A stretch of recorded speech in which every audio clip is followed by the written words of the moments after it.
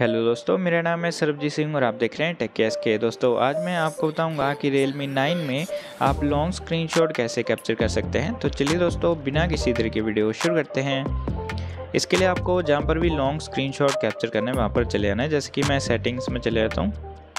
इसके बाद दोस्तों, आपको सबसे पहले नॉर्मल वाला स्क्रीन कैप्चर करना है। तो इसके लिए आपको वॉल्यूम डाउन बटन और पावर बटन दोनों को एक साथ प्रेस करना है। चलिए हम नॉर्मल स्क्रीनशॉट कैप्चर करते हैं। तो आप देखते हैं दोस्तों, इसके नीचे आपको यहाँ पर स्क्रॉल की ऑप्शन मिल जाएगी। आपको सिंपली स्क्रॉल पर क्लिक कर देना है। एक बार फिर से दिखाता हूँ। आप देखते हैं स्क्रॉल यहाँ पर आपको क्लिक कर देना है। तो ऐसे दोस्तों, आपको यहाँ पर ऐसे ऊपर की ओर इसे स्वाइप करना है, जितना भी आपको लॉन्ग स्क्रीनशॉट कैप्चर करना है, और डन पर क्लिक कर देना है। तो लॉन्ग स्क्रीनशॉट कैप्चर हो चुका है। यहाँ से आप इसे एडिट कर सकते हैं शेयर कर सकते हैं। यहाँ से आप इसे सेव और यहाँ से डिलीट कर सकते हैं। चलिए हम इसे डिलीट कर देते हैं।